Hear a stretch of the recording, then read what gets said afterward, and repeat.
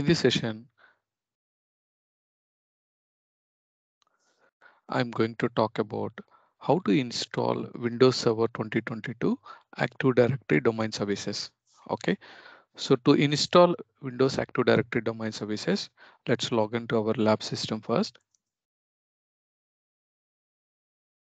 See, when I connect to the, our ESXi host, we already created in our previous session Active Directory 01 AD01 VM. If you open this VM in a new console, just open the server manager. And within the server manager, we can see left side there is a dashboard and local server. And we can see usually from the dashboard, we can see configure this local server, add roles and features. So you can click this option or under the manage also you can see add roles and features. Any option you can use. Let's say when you click on add roles and features, we can see before you begin, before you continue that we must log in with administrator account and the static IP should be configured. We already assigned static IP and we log in with the administrator account and all the patches should be up to date. So we already meet these three conditions. Click on next and role based or feature based installation we need to choose this option. And remote desktop service installation we can choose second option. So when we plan to configure active directory domain services the relevant option is role based or feature based installation. So now click on next.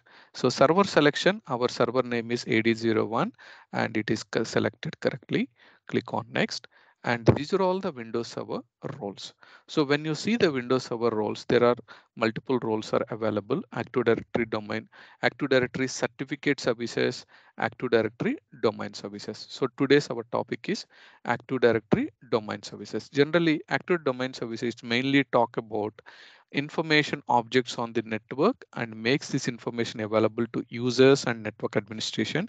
And ADDS uses domain controller to give network users access to the permitted resources anywhere on the network through a single logon services. So let's enable the Active Directory domain services. So click on next. And the features I'm not going to configure now. So we just enable only the role and we haven't selected any features at this point in time. So click on next and active domain services, click on next. See, normally if it is required restart, it will restart automatically. So click on install. So this is how we can install the Active Directory domain services.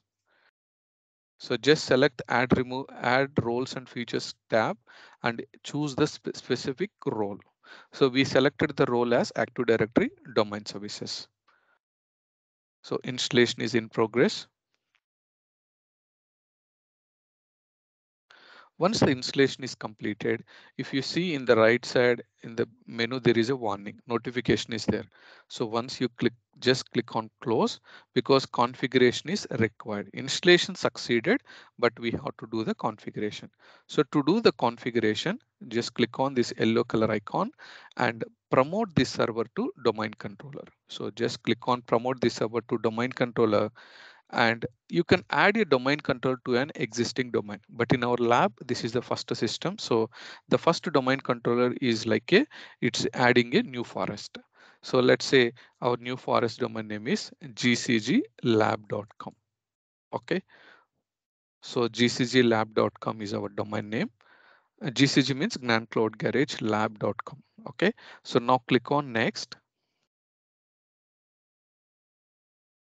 and default forest function level domain function level is windows 16 you can leave it as default because in our lab we don't have the old versions. So let's leave it default and assign the password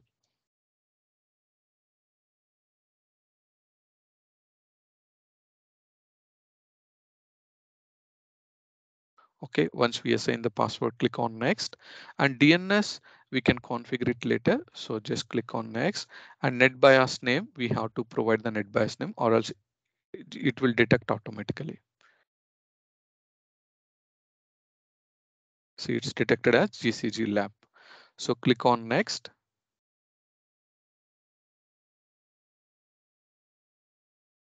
Okay, default Active Directory database located in C drive Windows NTDS folder and logs also located in the same location and sysvol folder will be under C drive Windows. Okay, so now click on next and this is a complete summary of the information.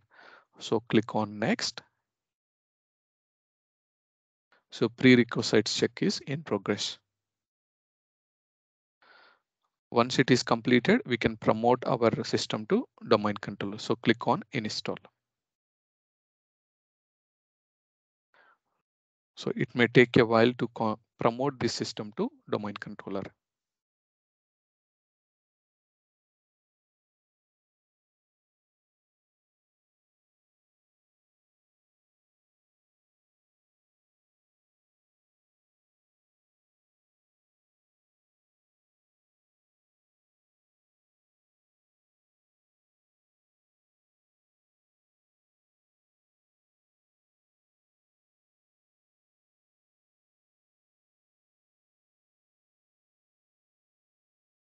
So still the, it is running.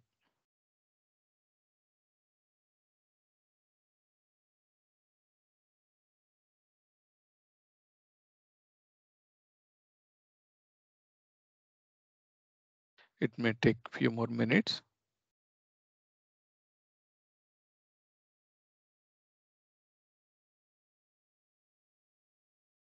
Okay, if you see the progress progress here, see setting the security, securing all this, you're configuring DNS server, server service on this computer.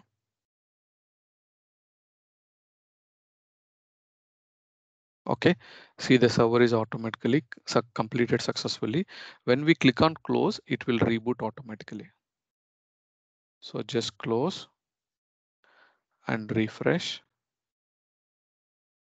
System will restart automatically.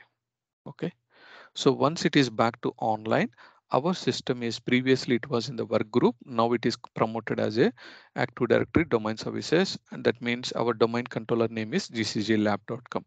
So we can log in with only the GCG lab domain accounts only.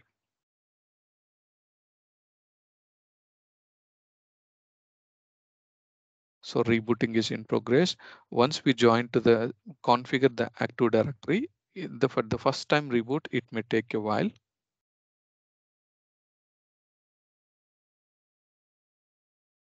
Even if you refresh here, we can see the status.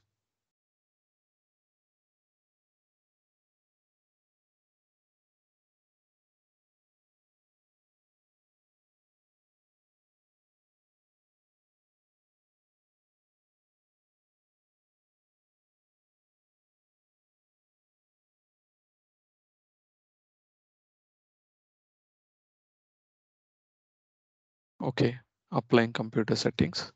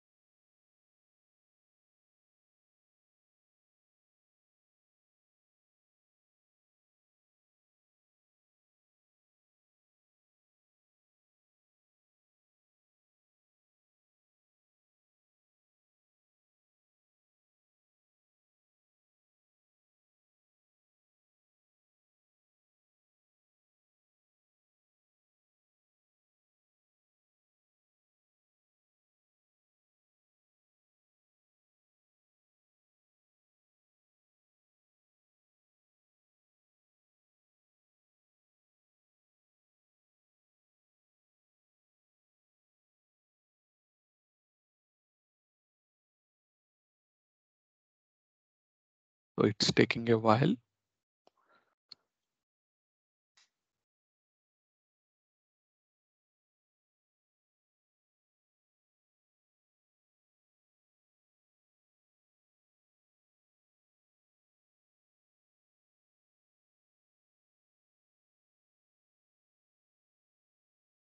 Okay, if you see the hostname here, ad01.gcglab.com. This is a fully qualified domain name. Okay, now finally it's back to online. So go to the guest OS and keys control or delete. So we can log in.